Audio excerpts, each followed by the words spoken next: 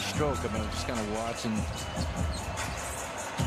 pregame, halftime shooting just to kind of see what he looked like. And, from your neighborhood, Los Angeles. yeah, I thought he might have a chance to win that dunk contest during All-Star Weekend. And, and red.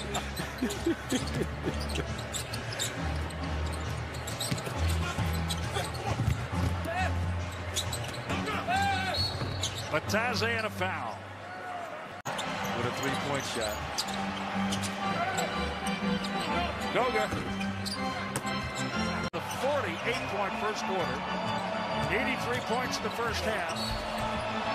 Indiana didn't go away. They kept battling, but They Finished with 22, 9, and 6. Bitadze, ball out of bounds, stays on this end. 7.3 remaining.